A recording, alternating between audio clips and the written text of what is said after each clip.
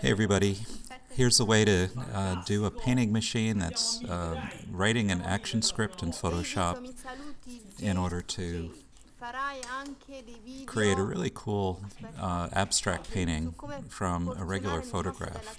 And uh, we're going to be using and appropriating an image from the web. So I'm going to type in something random like a tree frog. They're pretty cute. I'm here in Google and go into Google Images and and I want an image that's about a thousand pixels big. Um, so one way to ensure that you get a big enough picture is to click Tools here and then Size Large over here on the left. And every picture now will have at least a thousand pixels in it. All right. Um, when you click on one of the thumbnails, then it puts a larger version on the right side here. Um, that one's not quite sharp, so let me try this one. That's pretty cool. Um, so I'm going to right click on the picture and left click copy image. And then come over to Photoshop and say File New and just hit the create button because it's uh, the pictures in the clipboard and so it'll build a new file exactly to the pixels of what you need.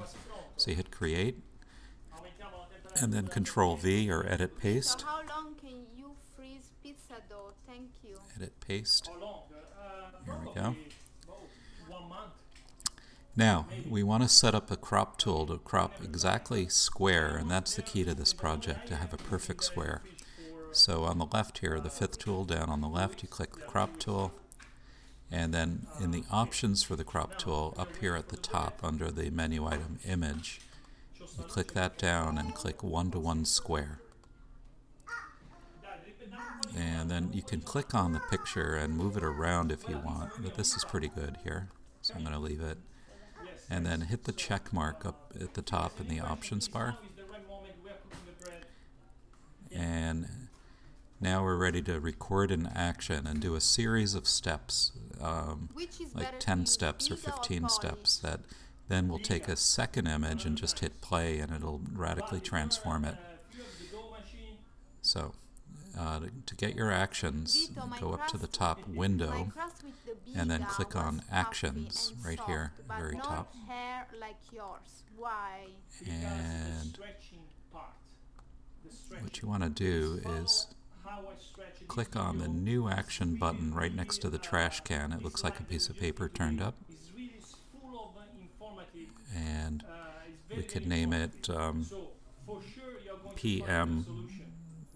PM1 if you want, it doesn't matter.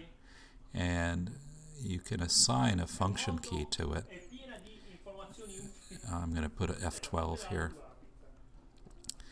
And then I actually have to hold down shift because I've got another F12 somewhere. I've got a zillion actions in here.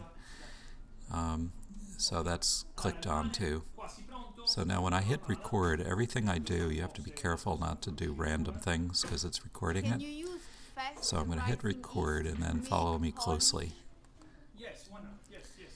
So I'm going to filter this first by going filter at the top, filter gallery,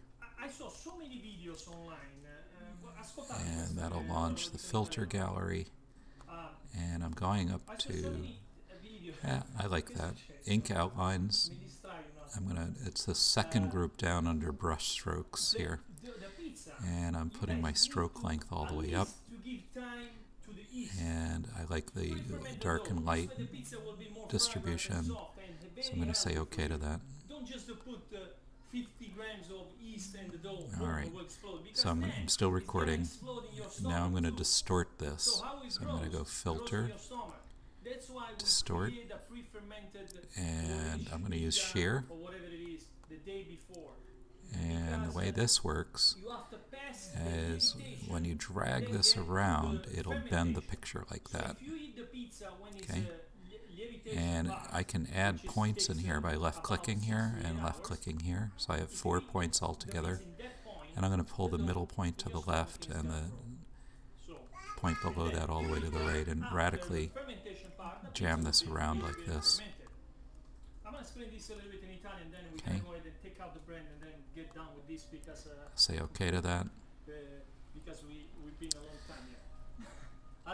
And now we're going to, I'm going to show you layers.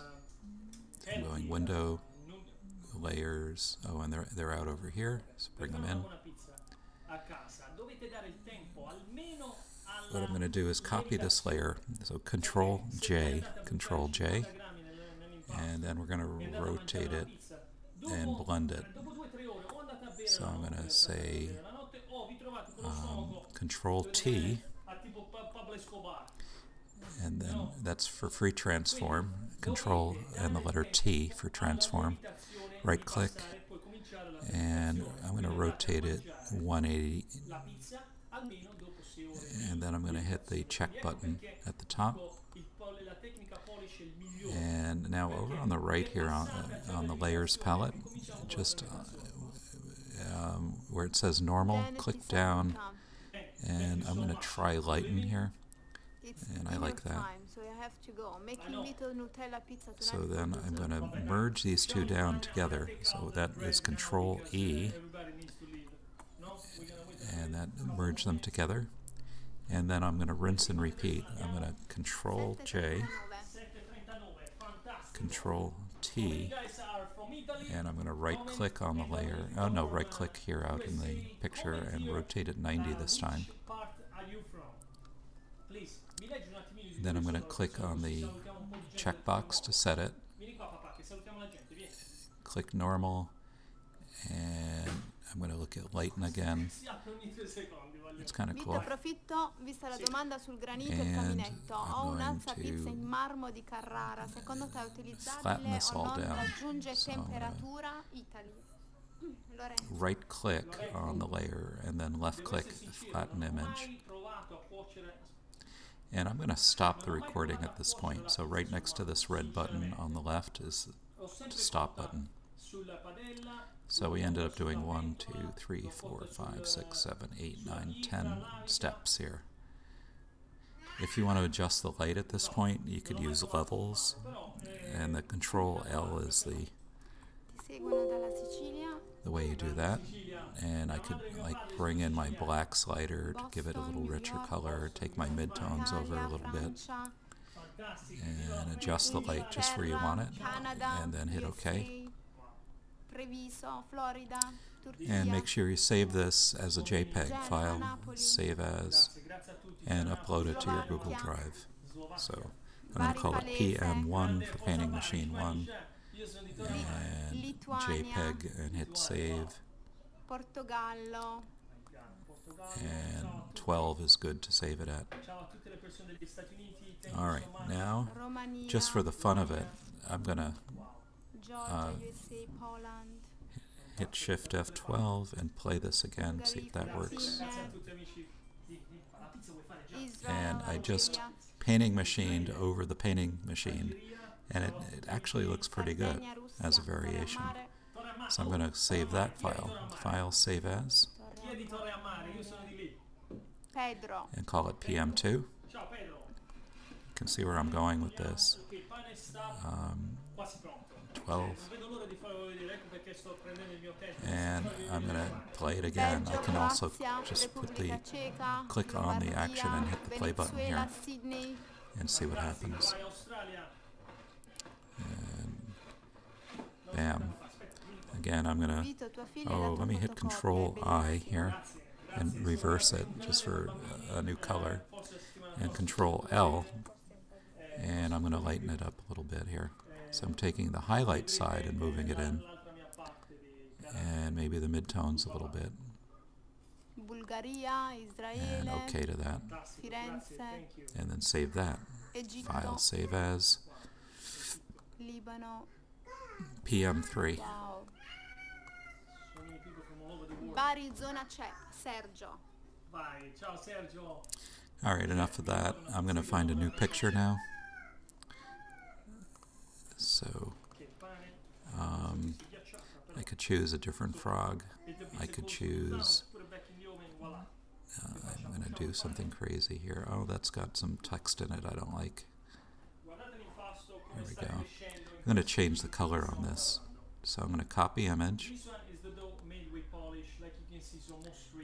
Back to Photoshop. File new. Create. Control V. The crop tool is still set up, so I can click inside here and move this to get these eye, googly eyes that are pretty cool. I'm going to hit the check mark. Actions out of the way. And I was going to change the color, so I'm going to hit Control U, or Image Adjustment Hue Saturation, and dial the hue around to someplace else. Yeah, that's good. Reds. now I'm just going to hit play and see what it does. Uh, Vito farina Great. tipo 2, che idratazione, posso usarla per pane o anche File save as. You see how you can get a, a dozen of these in no time? Because we've got the action script written and we're just applying it now.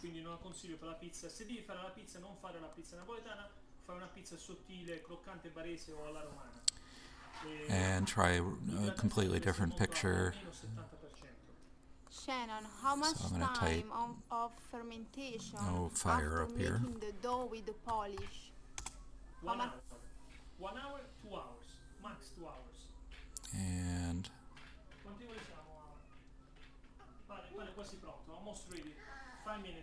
we have Sacramento Vito, can you with make the fires going on in California and houses are burning down. And people are getting evacuated, so I'll take that one. Back to Photoshop. File new. Control N or File new, create. Control V. And uh, the crop is just fine here. I click on it once and then I click the check mark. And then I'm going to play it and see what happens. Mark, when I do the dough, it seems it grows too much. Any That's advice? Yes. Uh, use cold File water save as. and put a little bit more salt. Maybe you don't put too PM5. much salt. Maybe you use the warm water instead of the using the cold water. Where do you buy your pizza peel and bricks? Okay. So pizza peel. So uh, you can uh, see um, any series of Uh, I also um, actions that you want to do with filters, and there's But usually I use the 130 filters in the filter uh, gallery, It's more easy to find um, and uh, online. can change everything dramatically. Then, uh, the pizza Also, you could uh, take the pizza bricks one of your painting machine uh, images and maybe go up to artistic, you can find and I'm going to click potete trovare and see if that's something you want to play with. Um, there are also uh, distort filters, sketching filters down here. So Graphic Pen does that. Um, stamp will bitmap it. That's a little bit gross. Water paper, not so great. You know, not all the filters look great. Glowing edges, Altre domande, noi dici that's crazy. And texture.